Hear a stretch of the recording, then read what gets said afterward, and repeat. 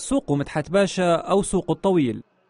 أنشئ عام 1878 في عهد والي دمشق مدحت باشا وعرف في العهد المملوكي بسوق جقمق نسبة إلى وجود خان جقمق فيه.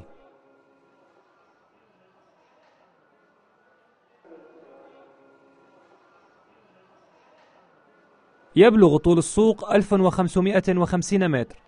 بدءا من باب الجابية وانتهاء بباب شرقي ويقسم لقسمين. الأول مسقوف بالتوتياء أما القسم الثاني مكشوف. يختص هذا السوق ببيع الصناعات النسيجية والعباءات والأقمشة الحريرية والشراشف ومحلات البيع بالجملة إضافة للنحاسيات والموزاييك ومحلات العطارة والأعشاب. لاقي المستوى اللي هو أرضية المسجد الأموي أو الطرقات اللي حوالي المقابر باب الصغير هذا المستوى الرئيسي اللي هو حاليا تحتنا بحوالي سبع أمتار. تحتنا بسبع أمتار هو الشارع الرئيسي لسراتس اليوناني القديم. وضع السوق حاليا بوضعه الحالي يعني عمره حوالي 270 280 عام. إذا بدنا نشوف منسوبه قبل 270 عام الخانات اللي على طرفي الشارع بنلاقيها عم ننزل لها بأربعة خمسة ست درجات. بينما سابقا كان يطلع لها بثلاث درجات أو درجتين. مقصد سياحي أكثر من هام.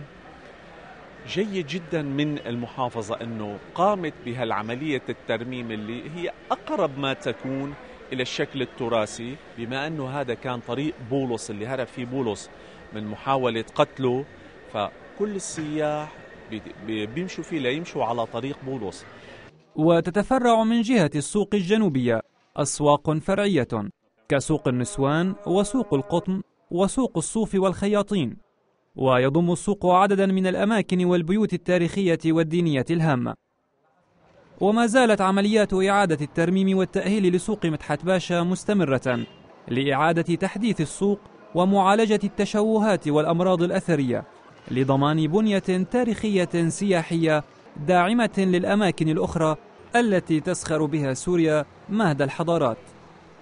دي برس تي في.